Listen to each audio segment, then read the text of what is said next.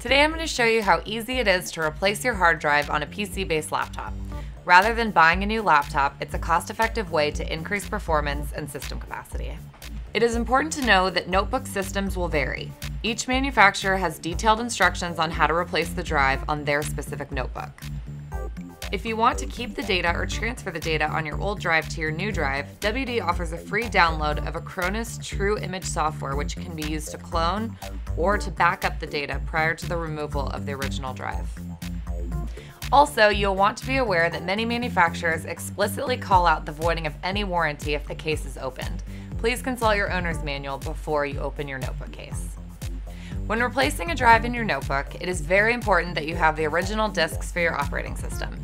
Do not attempt to replace your drive if you don't have these disks. Consult your operating system or utilities documentation for backup instructions. This step is especially important if you are replacing a drive rather than upgrading to a dual drive system. You may use a SATA to USB dongle, which would be an efficient solution to prevent you from having to reinstall your OS. If you choose to, you can back up the data to a WD external drive such as the MyBook or My Passport. This will provide you with two copies of your data. Now that your data is backed up, let's get started.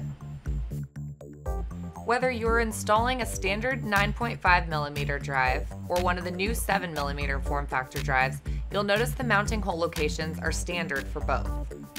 WD's 7mm drives are small form factor compliant, which helps to make the install process as simple as possible.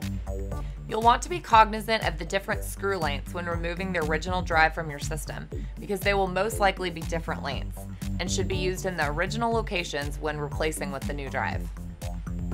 After your WD hard drive is unpacked, place the drive on the static shielding bag it came in on a clean, level, padded work area. Hard drive electronics are sensitive to static electricity. You'll notice I'm wearing a grounding strap. We recommend wearing grounding straps when handling hard drives. The physical portion of the drive installation process will typically take under 5 minutes.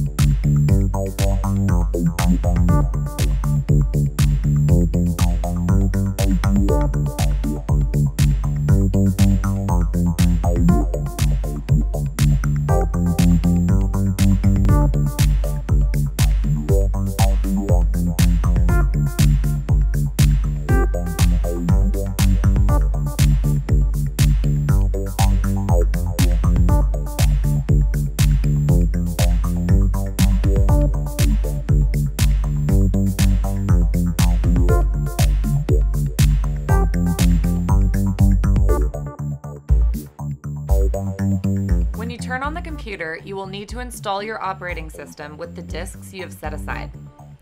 When your OS is fully installed, the BIOS will automatically detect the new WD drive. After formatting, you can copy over all the backed up files located on your external drive or other media to your new drive. Now that you have upgraded your drive, you could use your original drive as a backup. This can be used with an enclosure, or you can even store it off-site for added redundancy. It's that simple, and now you have a brand new drive in your notebook. It's a good idea to register your new WD product and get the latest updates and information from WD.